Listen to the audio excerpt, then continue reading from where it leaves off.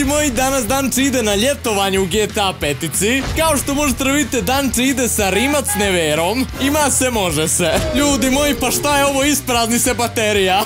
E sad idemo sa Audi A pješke. Gospodine, ja da posudim samo auto ako nije problem. To je to, ljudi moji, idemo na more. Tako da, ljudi moji, Danče je stigo da ladi guzove. I jao, vidi male što ima lijepe oči. Bježi seljačino! To tako ona meni odmilja govori.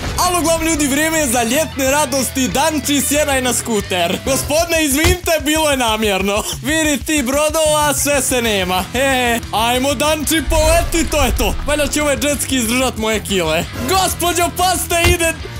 Ode Danči u koprive. To sam malo pecne. O, ljudi moji, ganja me, ganja me. Danči bježi. Šta je bilo? Radi guzak u meduza, a? Jao, ljudi moji, još ima pjesma zasvirala na plaži, znači ne može jače. Obvezno ostavite like za još.